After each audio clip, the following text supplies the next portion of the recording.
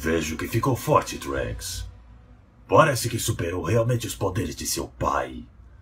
Mas. Nunca vai me derrotar com essas técnicas. Eu sou invencível. Você é invencível, Céu? Não me faça rir. Você perdeu a luta para um garotinho. Ah. Você não tem moral nenhuma. Finalmente vou acabar com esses malditos insetos. Ah, vejamos. Pá, pá. Oh. Você me deixou nervoso! Eu vou te transformar em chocolate!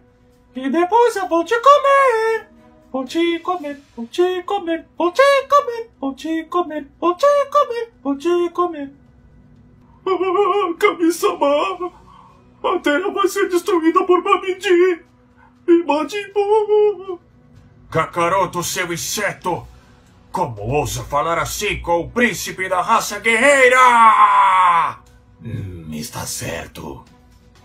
Eu vou destruir a Terra e vamos embora. Whis! Whis!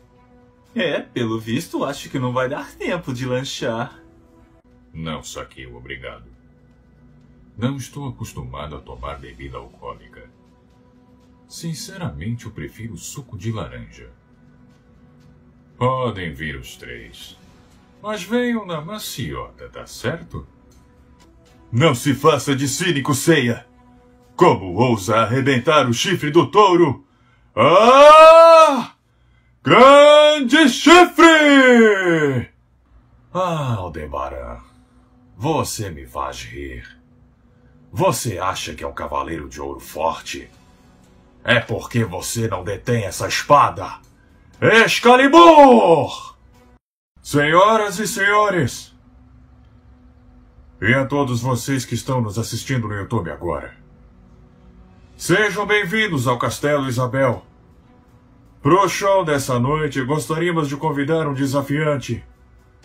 E o nome dele é o Sr. Ken Masters. Meus cumprimentos por ter me convidado para o baile, Sr. Vega. Mas não pense que vai ser tão fácil quanto. brincar de pegador com o touro. Que finalmente consegui. Consegui dominar a arte do Hadouken com meu próprio esforço.